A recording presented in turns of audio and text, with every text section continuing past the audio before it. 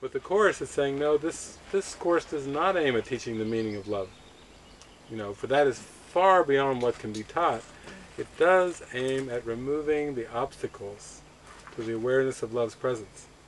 So, so that's the focus, of course. Uh, it's not on trying to love or love better, or trying to love God or love God better. It's simply not hiding and protecting the, the thoughts and beliefs that are coming up to awareness for healing.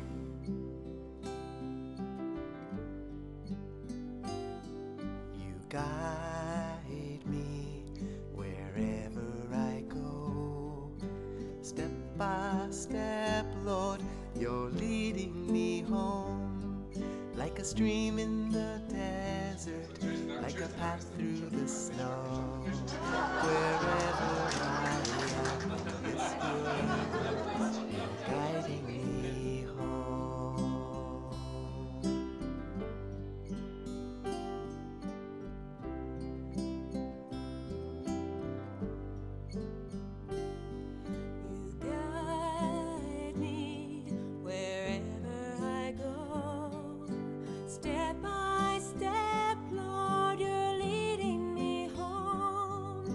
Stream in the desert, like a path through the snow.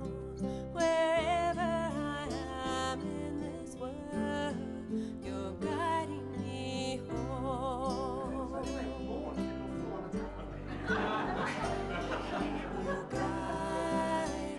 My team had scored if, if, if.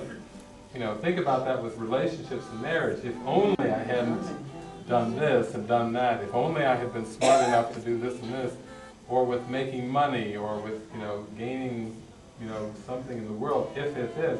But if is the hypothetical. And I always share that of all the teachings I've done, you know, over these 17 years, that's probably, that's getting down to the deepest.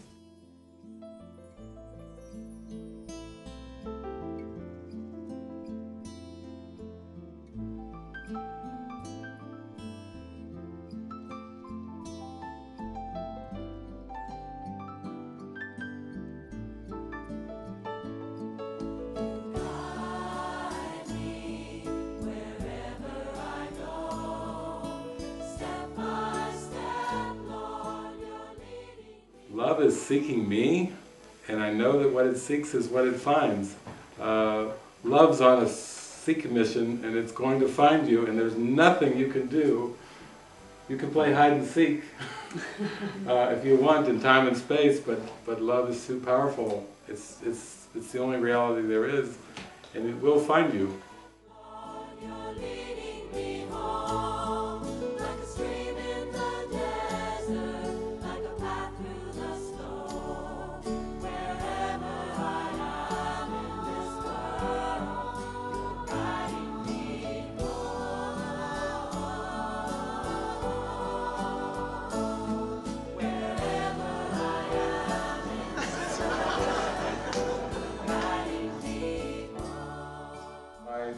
Titled that book A Course in Miracles because he knew how important miracles were to really opening up your heart and really having a sense of true, sustained intimacy.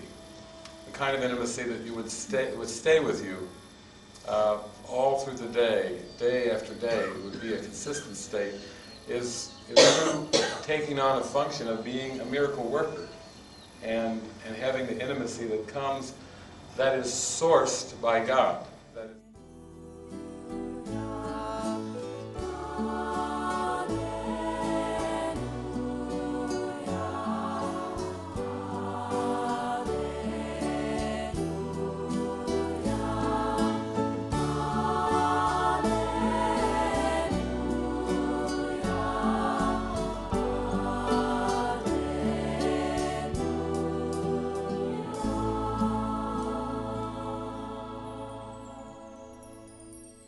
Wherever